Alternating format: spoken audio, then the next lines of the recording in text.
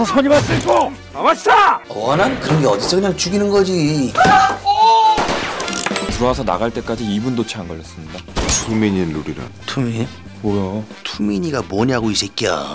퀴즈도 좋지만 너 정신 건조부터 받아봐. 정상 아니야 너? 그래요 나 미쳤어! 연쇄살인범 양도수와 정일도 둘 중에 단 한 명만 살릴 수 있어. 여기 노리는 거 보석전 시회야